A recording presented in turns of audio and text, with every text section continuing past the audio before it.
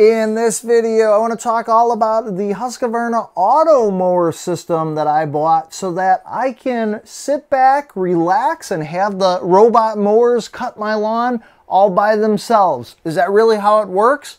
I'll show you the setup process and more up next. Hey everyone, my name is Jeff and on this channel I do all sorts of tech review, tip videos, as well as do-it-yourself projects. And for the last several weeks, I've been working on a do-it-yourself project. I purchased an auto mower system to see if it'll cut the grass for me. In fact, I actually purchased two auto mower systems uh, or two auto mowers for the uh, size of the yard that we have. So I'm going to go through uh, the unboxing, what comes with them, talk about why I chose those, show you some testing of what they actually look like, explain how they work, and, and then at the end of this video, I'll let you know my initial thoughts on using these mowers and my experience so far. So first off, I want to let you know this is not a sponsored video. This is, uh, these mowers that I bought were something I bought with my own money as kind of my own experiment here to see if I can automate cutting my lawn so that I can just sit back, relax, and kind of eliminate some of the work that I have to do, free up some of my time so I can spend more of it doing things like making some of these videos. And I want to let you know that everything I'm talking about in this video you can find links to down in the video description. So if you want to find out more information for yourself, if this sounds like something you might be interested in doing yourself, you can check out all that information as well. So let's see what comes included with the uh, Husqvarna Mower. This is the 115H.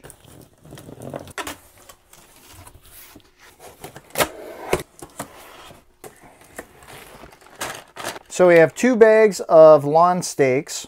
So there's some wire here. My guess is this is either boundary wire or guide wire and then some connection pieces. We'll take a closer look at this coming up. Oh, we're gonna lift this guy out. Underneath the mower, looks to be two spools of black 250 meters of boundary wire. So we've got a quick guide and looks to be an operator's manual a lot more yard stakes. This is in addition to the other two bags. So a total of eight bags of uh, yard stakes. We've got our power supply. This looks to be part of the charging station.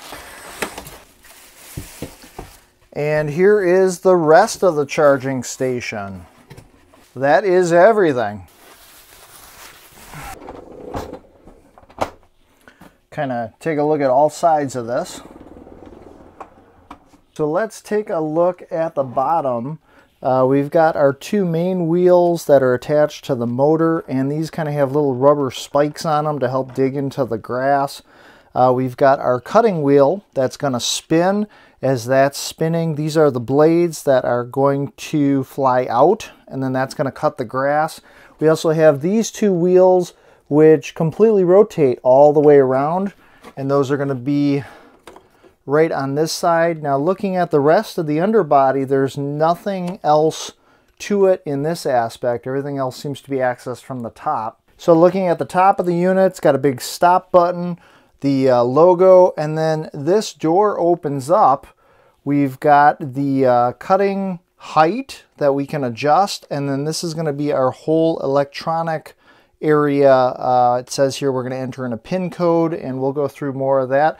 And then there appears to be the power button right up in this top corner. Okay, I am curious to see how much this thing weighs. We are right at 20, 20.8 pounds, so just under 21 pounds. Let's see if we can open up the power supply. One end goes into an outlet and the other end is going to go into the charging station. Here's the stats on the uh, power supply. So on my smartphone, I went to the Google Play Store and uh, I found the uh, Husqvarna Connect app. That's what I searched for. And there is the Auto Mower Connect. I'm going to go ahead and click on that. This will work for the for Apple products for the uh, App Store. I'm going to go ahead and install. And since I don't have an account yet, I'm going to go ahead and sign up. So once I had uh, put in my email address, it actually sent me a verification email to verify my identity and once I did that I was able to continue in the app and now from this point I can get started by adding my auto mower. So from this point I've done a couple of things. One is I was able to take this top charging piece, I just popped it into the uh, charging pad or the station and then there was the plug that I have plugged in so that I've got some power to the power station. Um, down below in the center is a little flashing blue light, which is telling me that I've got some sort of power going to this. Uh, in addition to that, in the quick start guide that came with the mower, it recommends you cut your grass before laying everything out. So I've gone ahead and done that. Uh, in the meantime, I'm going to let the mower charge up. So on the side of the unit that is closest to the uh, stop button, this is where it's going to go into the charging station. And uh, there's little metal contacts on here. I'm going to just match these up with the port that's on the station.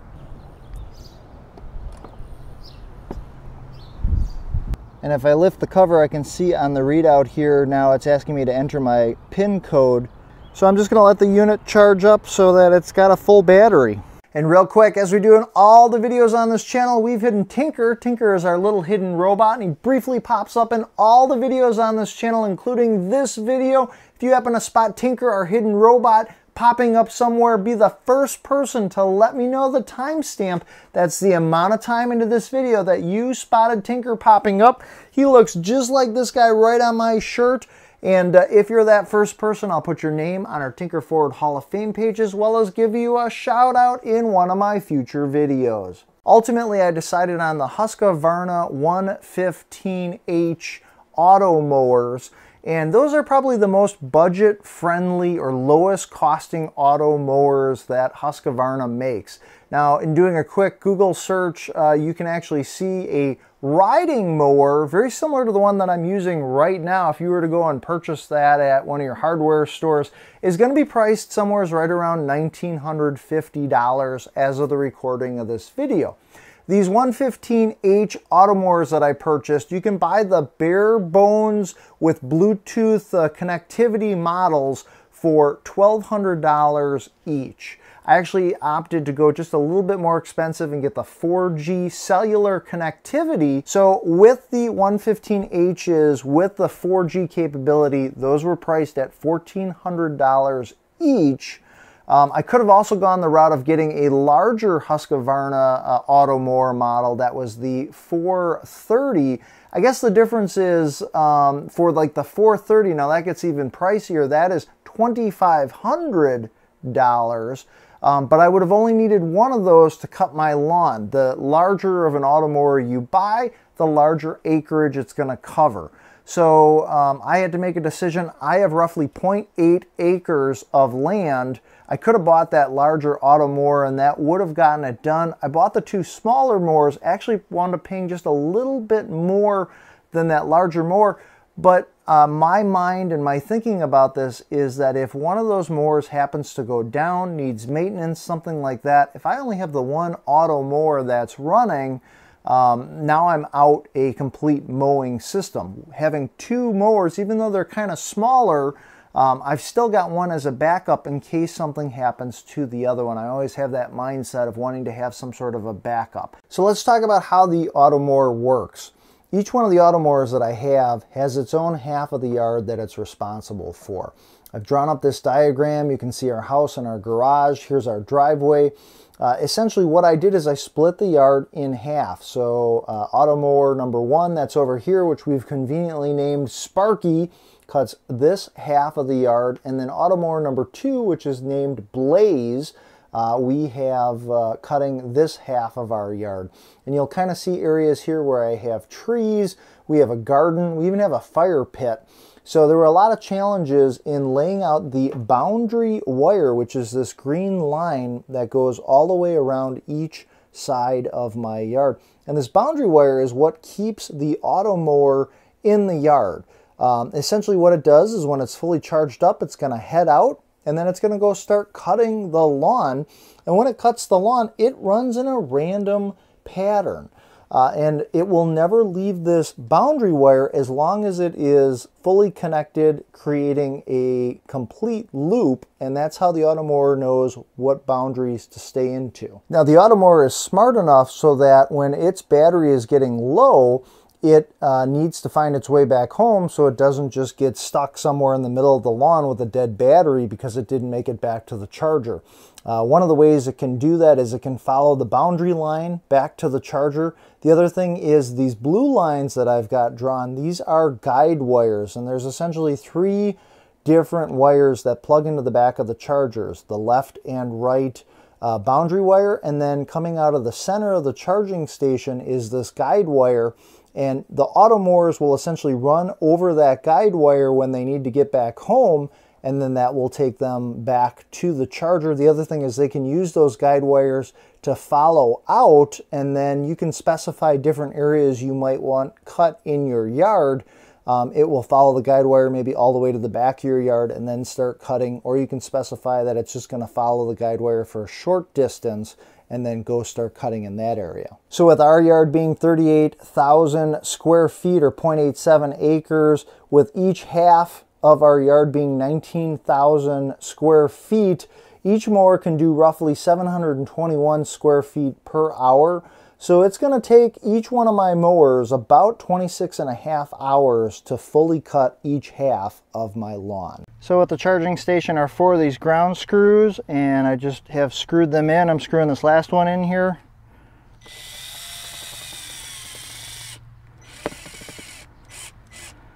And that holds my charging plate to the ground. So here's the boundary wire that I've laid and when it came it was in these spools. This is about what I have left. Not much to the wire at all. This is probably gonna be the same wire that would be used for an invisible fence. Uh, and then these are the stakes that are holding it down. Uh, I actually just took these stakes and because they include all those bags of them, you just push this down into the ground and then over the course of the next couple of weeks, this wire just naturally starts to sink down into the ground which is what's happened with Sparky on the other side of our yard. So burying the boundary wire, probably the most time consuming part of the install. If you've got something like an edger, I've got an Ego multi-tool system with an edger head that I've also done a review on on this channel. That works extremely well to dig a trench if you're burying any of that boundary wire. I'd also recommend you get yourself some good knee pads, some gloves, maybe a gardening tool or two, and that'll all help you with uh, burying that boundary wire.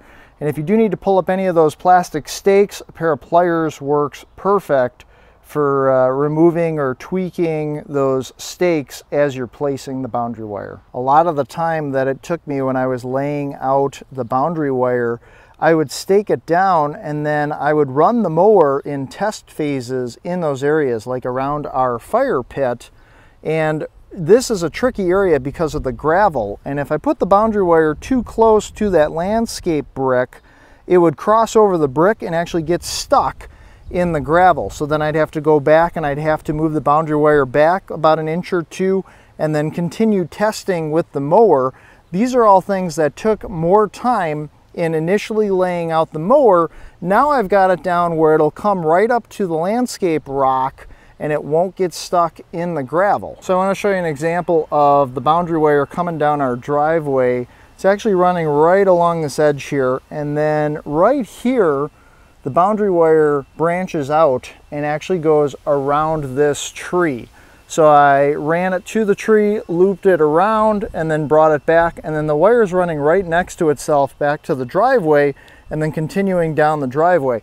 When you run the two pieces of wire right next to themselves, essentially it cancels the boundary signal out and then when the mower is zooming around on our front yard, it knows that this is an island that it should not bump into, but it will pass right over this part of the boundary wire because it just thinks that this is another open area. So after running the wire, I've connected up both the left and the right ports with the wire and you'll notice that there's this little plastic piece that uh, I'm just plugging into the back of the charging station. There's three ports. There's one for the left side of the wire, one for the right side of the wire, and then a middle one for the guide wire, which I have here. I've run that and I ran it uh, down underneath the charging station and then out. I still need to put a coupler on this wire and it's pretty self-explanatory, uh, pretty easy. Essentially, you're just gonna put the wire into this piece and then go ahead and close it up over around the wire. So with some needle nose pliers, I'm just pushing down to close the plastic coupler around the wire. And now on the end here, this is where I can plug this into the actual charging station. And now I've got my wires plugged in. This is where that low voltage cable is gonna go. So this is that coil of wire that came in the box. This is the low voltage cable. One end of this is going into the power supply and the other end I'm just plugging right into uh, the charging station.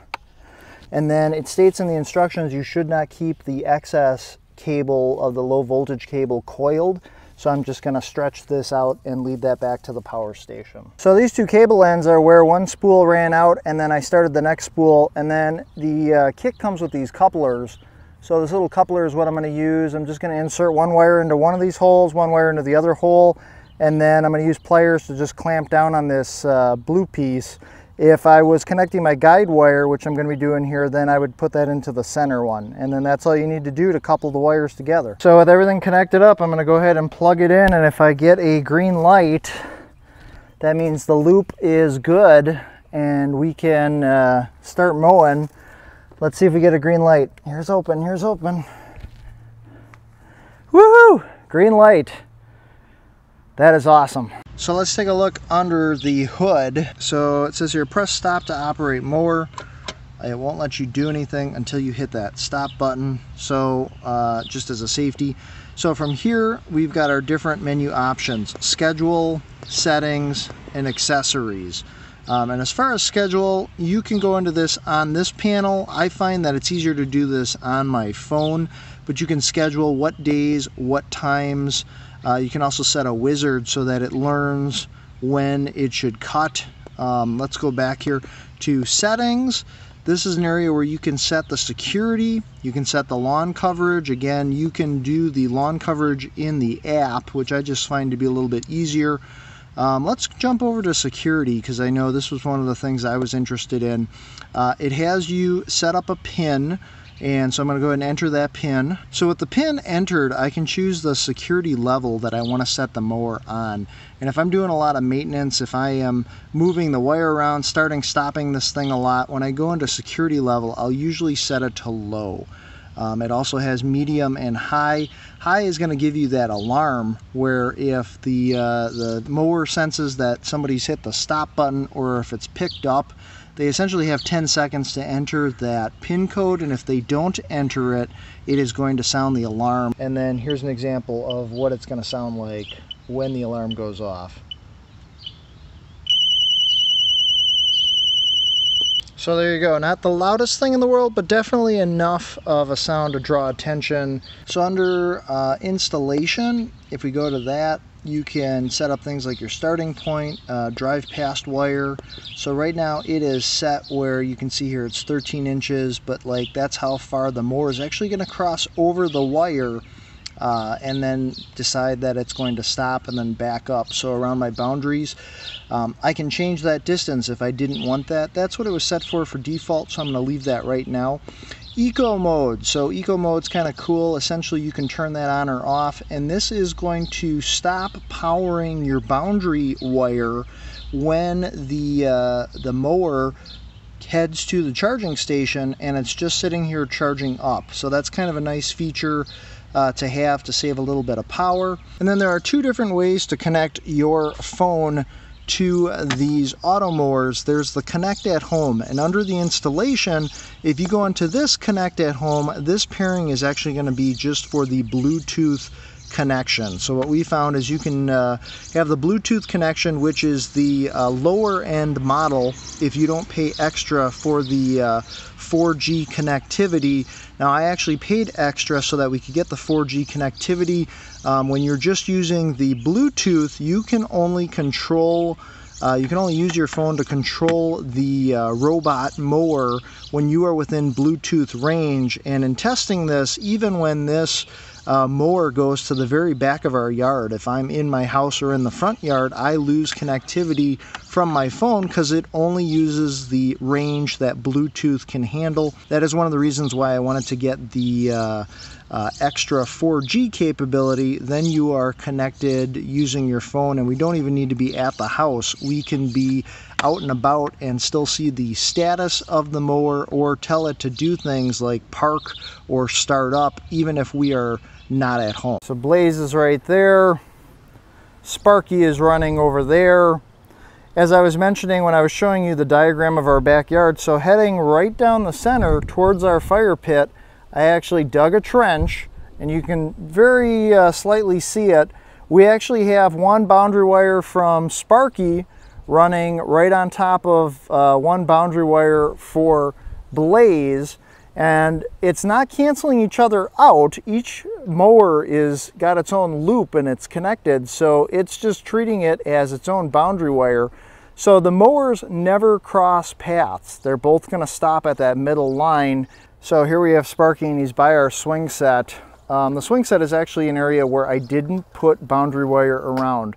So you can see there, he just is gonna bump into an object such as the post of the swing set and then he just turns and finds another area to go. Same thing, like if I happen to be close to the mower and it were to run into me, um, it's just going to stop. So if you do have, you know, kids playing or something, comes right up to my foot, it's gonna stop and then it'll go ahead and turn directions and then continue going in a different direction until it bumps into the next thing and decides to keep turning and moving around. So the auto mower will do up to a 30 degree incline as far as hills. It doesn't like little dips, little ditches, little divots in your yard. So this was a low spot and so far I've just filled it in with a little bit of dirt. Uh, Sparky, or actually Blaze I should say, was getting stuck in this low spot by putting the dirt there that allowed him to continue running. Now I'll need to plant some grass seed there so in case you're wondering, the sound you're hearing, that is how much noise the Automower makes. It's just the blades that are spinning and uh, that's what's making the noise. There's no gas-powered mower from a traditional lawnmower that you're typically hearing. So really the only noise you get is just a little bit of that cutting noise from those blades. So Sparky's coming back from mowing and he's going to charge up. So he has followed the guide wire that I laid back to the charging station. Um, he's smart enough to back himself into the charging station so that he can plug himself back in. Let's see how well he does with the connection here.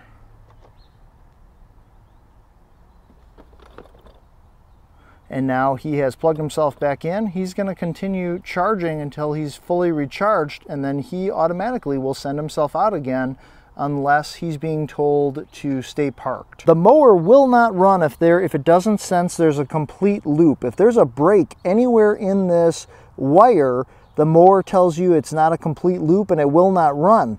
So that's frustrating if you accidentally cut into the wire somewhere or if something happens to break the connection, which is what happened to me. I've run 1,300 uh, feet of wire on, you know, going around my half of the yard, double that if you count both halves. And uh, I wanted to find what, you know, where the break was when that happened. Um, that, that could be very frustrating for you.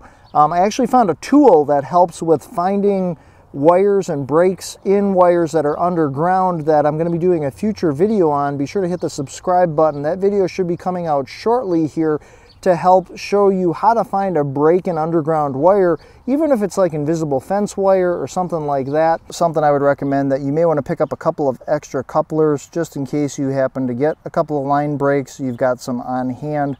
I'll leave a link down below to where you can pick up more of those. And it does take me a while to make these videos, so if you're enjoying this or if you're finding this video helpful, take a second, smash that like button, I appreciate it. So this side of our yard has been cut now for a couple of weeks and as the cables that I have staked down continue to sink into the ground, you can keep lowering the blade on your auto mower.